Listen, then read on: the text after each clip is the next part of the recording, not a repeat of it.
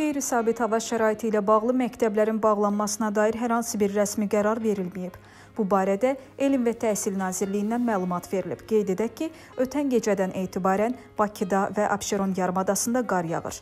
Bu gün havanın temperaturu gecə 2 dərəcəyədək şaxta, gündüz 0 dərəcəyə yaxın, Bakıda gecə 2 dərəcəyədək şaxta, gündüz 0 dərəcəyə yaxın olacaq. Paytaxtda qeyri-sabit hava şəraiti yanvarın 12-sinədək davam edəcək.